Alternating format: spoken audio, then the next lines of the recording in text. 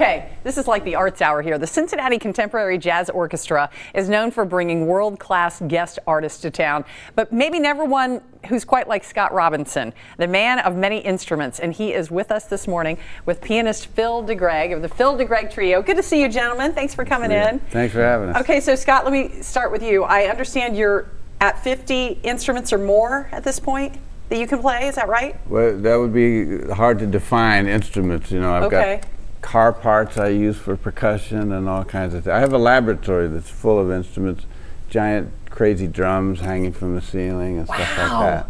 So I wouldn't know how to count it up. So you brought a sax and a trumpet today, yeah, right? just a tenor okay. sax and a trumpet. But you can play every kind of sax.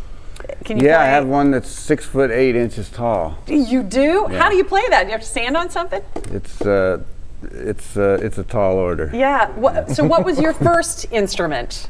The alto sax. The alto sax. Yeah. So you must have a love for the saxophone. I do. Yeah. I mean, it's one of the it's one of the staples of jazz. Now, I understand you performed at Carnegie Hall, Village Vanguard, Smithsonian, for presidents.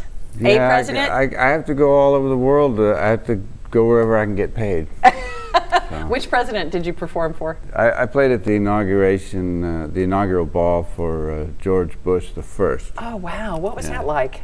It was quite an amazing uh, experience. I got my dad in. Oh, neat. and he was there dancing, and uh, yeah. That's always a nice bonus. Phil, I don't want to ignore you over here. So uh, tonight you guys are going to be at the Redmoor, and That's then right. Sunday you're going to be performing in Avondale. At the First Unitarian Church. Uh, tell me a little bit about what people will see if they go to the shows. Well, they're two entirely different kind of things. Scott's going to be playing with the Cincinnati Contemporary Jazz Orchestra Big Band, so he's going to be in a big band setting. Nice. And at the Unitarian Church, it's kind of the polar opposite. It's just going to be a jazz quartet, my trio with Scott. It will be very intimate, acoustically amazing, no microphones. Oh, just nice. everything and it's in the round and there's a there's an included in the price of admission. There's a uh, little wine and cheese spread during the during the intermission. That's great. And uh, yeah, so it's a it's a different kind of experience. Yeah, a couple of one of, one of a kind uh, performances that you can see. And you guys, why don't you give us a taste of what people can experience? Scott, what are you going to play? We're going to play an old song. Uh, How about you? I love that one. Take it away.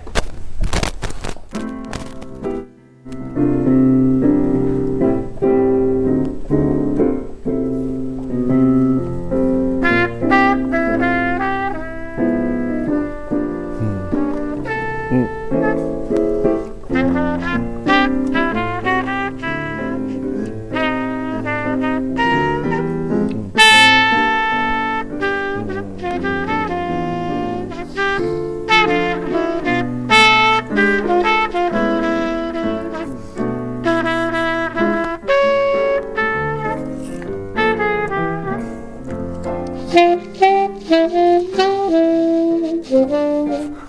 you.